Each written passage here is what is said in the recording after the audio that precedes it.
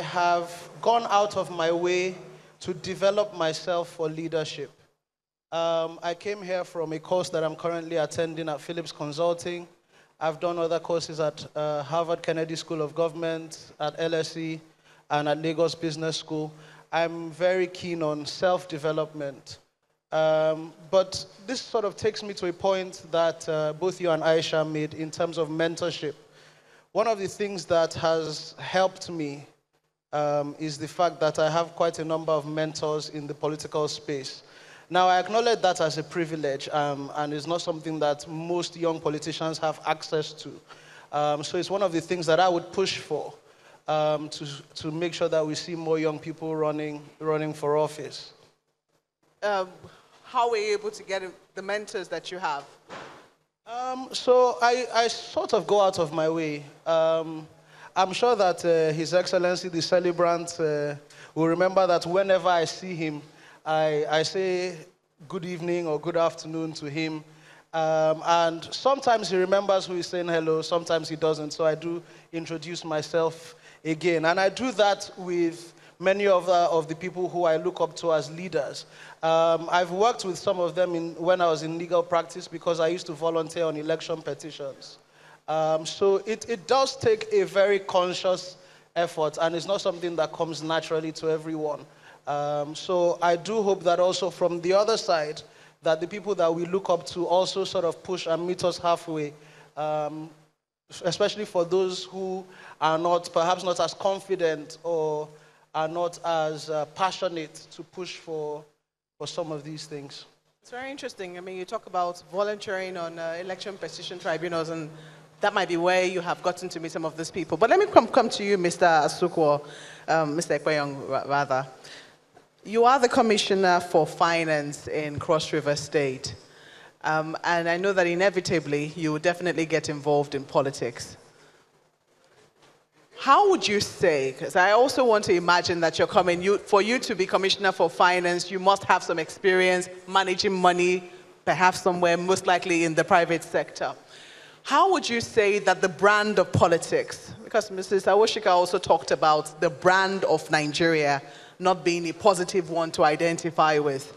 And I think the same goes a lot for politics. When any child or any young person says, I want to get involved in politics, um, the image is not too good, sadly. How would you say that you were able to overcome that image of politics and get involved? Thank you very much, Malpe. Um, good afternoon, everyone. Happy birthday, Your Excellency. Thank you for the opportunity to be here today.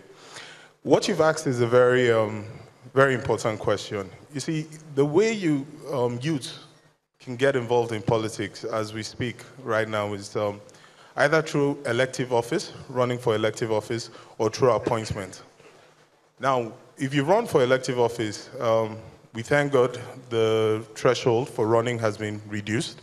But when you run for elective office, there's, um, there's a brand of politics that's practiced in Nigeria sometimes, which is um, the, the politics of money, money politics. And that serves as a barrier to entry for youth into elective office because you need to have the capital to be able to get involved most of the time. And for appointive, most of the time, it requires the goodwill of the principal, whether the president in appointing ministers or the governor. And so that serves as a barrier to entry as well, because the power doesn't really lie with um, the individual or the person seeking for office. What I feel as youth we need to do is more participation, and not participation in the sense of everyone trying to run for office, but participation in the polls in determining how your officers are elected. So I say that to say this. The youth demographic, as defined in Nigeria, accounts for approximately 60 million of the population. Now, if these 60 million people were to come together, even a, a 10% of that population, 6 million, comes together and can articulate what they want, what they need, they can be a voting bloc that can decide their own faith. And so when they see youth, not just any youth, but youth with capacity to hold office, they can support that youth and vote him into office. Beyond that, you can also have a seat at the negotiation table when electing your candidates. Let's say you're electing a governor or president. You say you want so so amount of representation. You want so many seats at the table and so so, so am- amount of offices. I believe that that is one way. So the most important thing is for youth to participate, get involved in the process, get the PVCs, understand, start having discussions, and be able to articulate what exactly they want for themselves. Well, there's a lot of activism on social media. I mean, all you have to do is, if you have a Twitter page, tweet about, you know, politics and see how many follows you get or how many responses you get. Uh, but then people will say that it would seem that it's happening mostly on social media. Are we getting past that, or would you say that it's still on social media? Thank you. Thank you very much for that observation. The truth of the matter is, it's mostly on social media. There's a lot of activism, but it's online. When you check the pages and the Twitter handles and the Facebook groups and um, the Instagram comments, what do you find? You find people criticizing the government or the principals, but you don't find people saying, We're having this meeting. Let's all meet here. Let's discuss. Let's all come together. What you, what you would want as a narrative on social media is people grouping together to discuss, meetings happening, rallies happening, protests, or what have you.